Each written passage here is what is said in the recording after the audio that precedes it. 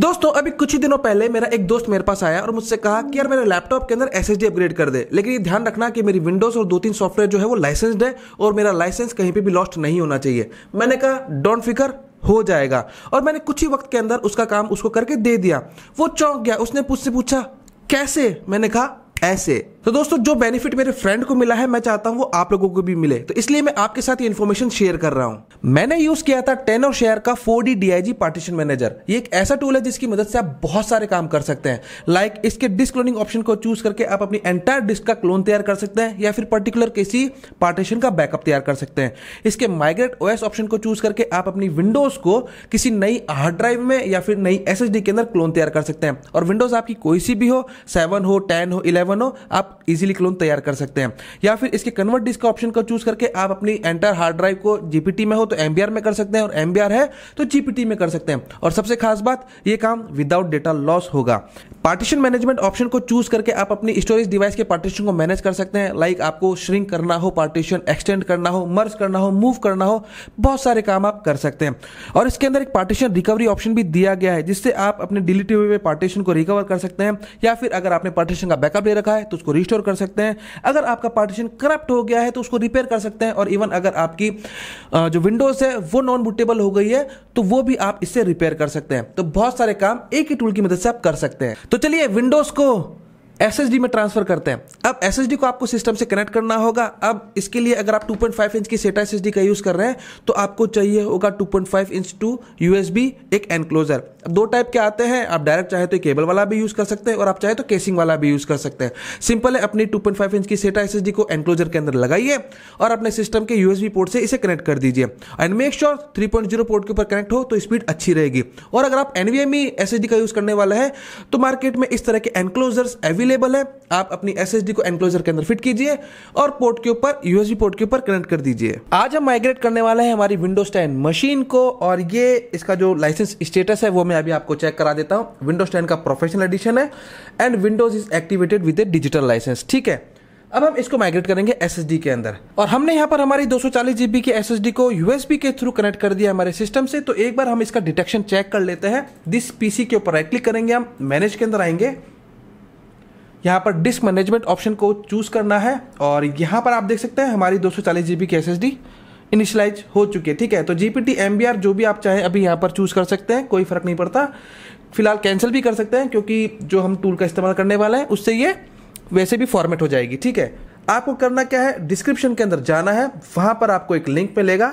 Link को करना है कॉपी कॉपी करने के बाद ब्राउज़र के ऊपर आपको कर देना है इसे पेस्ट एंटर टेनो शेयर की पार्टीशन मैनेजर वाली वेबसाइट ओपन हो जाएगी। आप यहाँ पे देख सकते हैं all in one disk partition manager simple है, आपको यहाँ से इस टूल को डाउनलोड कर लेना है।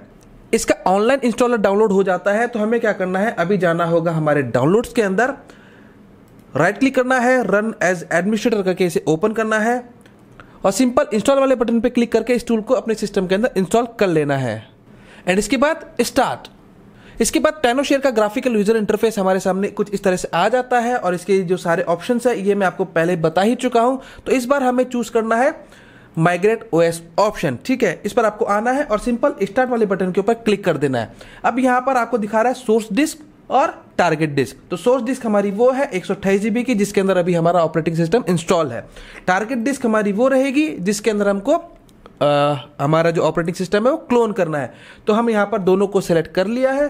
सिंपल स्टार्ट वाले बटन के ऊपर क्लिक करना है। ये एक वार्निंग देता है कि भैया जो भी आपका टारगेट डिस्क के अंदर होगा डेटा वो डिलीट हो जाएगा फॉर्मेट हो जाएगा। तो सिंपल हमें यहाँ पर श्योर वाले बटन के ऊपर क्लिक कर देना है। अब ये आपको समरी दिखाता है। सोर्स डिस्क देखिए, कुछ इस तरह की है जो एक जीबी की है तो इसमें हमारा जो सी ड्राइव है, दोस्तों, ये टोटल 128 जीबी का है।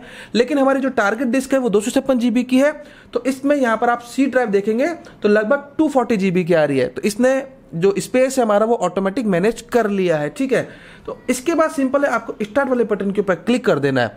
इसके बाद आपकी सोर्स डिस्क की जितनी भी ऑपरेटिंग सिस्टम की फाइल्स हैं, ड्राइवर्स फाइल्स हैं, सॉफ्टवेयर फाइल्स हैं, ये सारी आपकी एसएसडी के अंदर क्लोन हो जाएगी और इसके अंदर टोटल लगभग आठ से दस मिनट का टाइम लग सकता है। डिपेंड करता है कि आपने एसएसडी कौन सी चूज़ की है और आपने कौन से यूएसडी पोर्ट के ऊपर इसे प्लग किया है। 2.0 है तो टाइम ज़्यादा लगेगा और 3.0 पे किया है तो ये काम थोड़ा फास्ट हो जाएगा।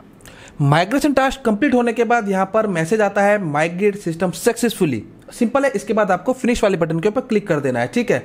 तो इस विजार्ड को हम कर देते हैं फ़िलहाल क्लोज दिस पीसी के ऊपर हम क्लिक करेंगे। अब आप यहाँ पे देख सकते हैं, एक हमारे एक सौ का पुराना वाला ड्राइव है और ये हमारा नया वाला ड्राइव बन गया है। तो अब हम क्या करेंगे, हमारी पुरानी वाली डिस्क को तो रिमूव कर देते हैं और नई वाली डिस्क से हमें सिस्टम को बूट करके चेक करना होगा। और हमने हमारी पुराने वाली स्टोरेज डिवाइस हटा दी है और इस समय जो बूटिंग चल रही है दोस्तों, ये नई वाली एसएसडी के थ्रू चल रही है। अब इसके बाद हम हमारी विंडोज़ का एक्टिवेशन स्टेटस भी चेक करेंगे। तो सिस्टम प्रॉपर बूट होने के बाद हम दिस पीसी में आते हैं और हमारा सी ड्राइव देखते हैं टू फोर्टी के आसपास का है। ग्रेट अब इसके बाद एक्टिवेशन स्टेटस चेक करते हैं सेटिंग के अंदर आते हैं हम। आ, इसके बाद आते हैं अपडेट एंड सिक्योरिटी में एक्टिवेशन में।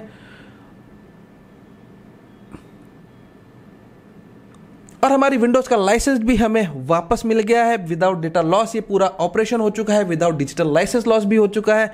वाओ इट्स अमेजिंग और हमारे सिस्टम के अंदर जितने सॉफ्टवेयर इंस्टॉल थे, वो भी हमें डेस्कटॉप के ऊपर वापस मिल चुके हैं। तो 100 परसेंट ऑपरेशन सक्सेसफुल दोस्तों, अभी क्रिसमस का टाइम है न्यू ईयर सेलिब्रेशन का टाइम है तो इसीलिए टेनो शेयर की तरफ़ से आपको मिलता है बहुत सारे बम्पर ऑफर्स तो डिस्क्रिप्शन के अंदर जाना है, वहाँ पर आपको क्रिसमस गिव का एक लिंक मिलेगा। करना है आपको कॉपी ब्राउज़र के अंदर कर देना है उसे पेस्ट अब यहाँ पर देख सकते हैं आप क्रिसमस सेल चल रही है टेनो शेयर के। मोस्टली सारे प्रोडक्ट्स के ऊपर काफ़ी सारे बम्पर ऑफ़र आपको मिलते हैं। और यहाँ पर आपको कई सारे कूपन भी मिलते हैं। आप देख सकते हैं, आप डायरेक्ट मनी भी जीत सकते हैं। यहाँ पर आपको 30 परसेंट तक के कूपन कोड अवेलेबल हो जाते हैं। और आपको मिलता है यहाँ पर अमेजोन के 200 डॉलर के गिफ्ट वाउचर भी आपको मिल सकते हैं। और पर्टिकुलर अगर आप ये फोर डी पार्टीशन मैनेजर का बाय करना चाहते हैं तो 9.9 डॉलर के अंदर आप इसको बाय कर सकते हैं। एक मंथ का सब्सक्रिप्शन आपको मिल जाता है। तो इसी तरह से काफ़ी सारे ऑफ़र यहाँ पर मिल जाते हैं आपको, जिनका फ़ायदा आप उठा सकते हैं। ठीक है? तो यहाँ पर काफ़ी सारे प्रोडक्ट है लाइक फ़ाइल रिपेयर है डेटा रिकवरी है डुप्लीकेट फ़ाइल फाइंडर है, और इनकी प्राइस जो है वो काफ़ी कम हो गई है क्रिसमस ऑफ़र की वजह से। तो जो भी आपको रिक्वायरमेंट है वो आप यहाँ से बाय कर सकते हैं काफ़ी कम प्राइस के अंदर। दोस्तों, ऐसा यूनिवर्सल टूल और वो भी इस प्राइस में वाओ इट्स अमेजिंग और इसी तरह की वीडियोस को देखते रहने के लिए don't forget to subscribe Technobaazi फिर मुलाकात होगी अगली वीडियो में। गुड बाय जय हिंद वीडियो को लाइक और चैनल को सब्सक्राइब ज़रूर कर लेना। Bye bye